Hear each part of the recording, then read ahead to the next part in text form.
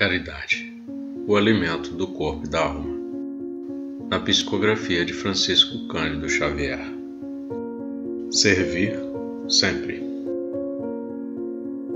Se procuras a extinção das dores por onde vais, mantenha a disposição de servir um tanto mais.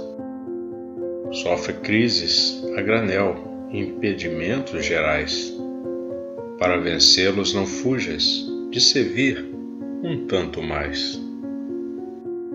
Pretendes viver acima das aflições em que caís?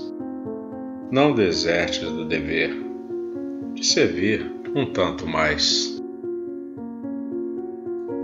Carregas lutas em casa, provações descomunais. Por tua paz não desistas de servir um tanto mais. Encontras pedras, injúrias, ofensas, erros brutais. Não te afastes do programa de servir um tanto mais.